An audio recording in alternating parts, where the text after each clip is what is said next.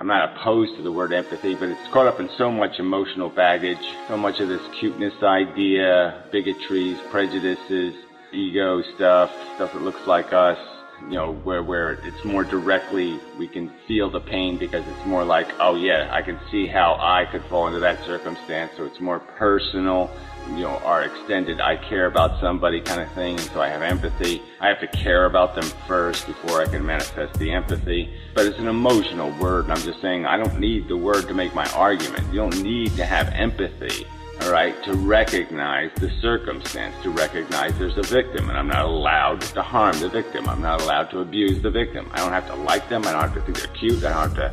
I don't have to have any connection to it whatsoever to acknowledge my responsibility not to cause it harm. The properties of sentience, that's what's being described here. Okay? We're describing reality, not describing what you feel, not describing how you think or all that kind of crap. We're describing a real circumstance. We're saying, okay, we're conceding this is the gasoline that goes in the engine, and this is what the engine supposedly is producing. And I can argue that there is nothing being produced, the wheels are just spinning. But let's just say we have spinning wheels. And there's a certain logic to reducing how much gasoline you have to put into this thing to make it do whatever it's doing. So regardless of what it's doing and whether what it's doing is valuable or not, the simple argument is, is you want to use as little gasoline as possible. Expend and waste as little suffering as possible. There's, there's nothing else.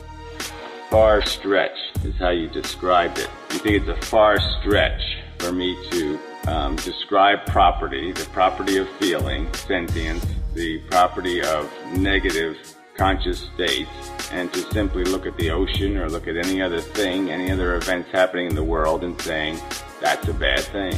That's a bad thing. That's a bad thing. Red number, red number, red number, red number.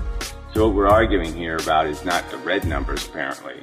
We're arguing about the black numbers. You're saying that the fact that elephants are, you know, pointlessly satisfying their hungers that are driving them, driving them, whipping them essentially to keep marching on and doing things that they have no control over. They don't choose to reproduce, you know. That somehow that magnificent death march that all animals are on is somehow so fantastic and great that it's worth all of their suffering. So that's the thing. You're basically acknowledging their suffering. You're saying, I can't do much about it because it's the way nature is. And then on top of that, you're saying, and I think the whole little pageant is beautiful. The parade is marvelous you're not going to make a rational argument explaining to me how the elephant's desire is more important than the non-existent Martian's desire or the non-existent Venusian desire.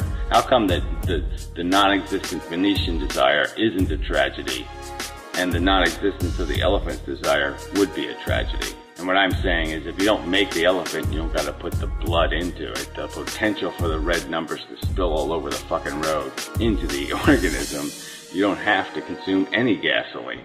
There's no need to pour gasoline in it. There's no need to turn the key, and you can save yourself all that red number production by simply not turning the key.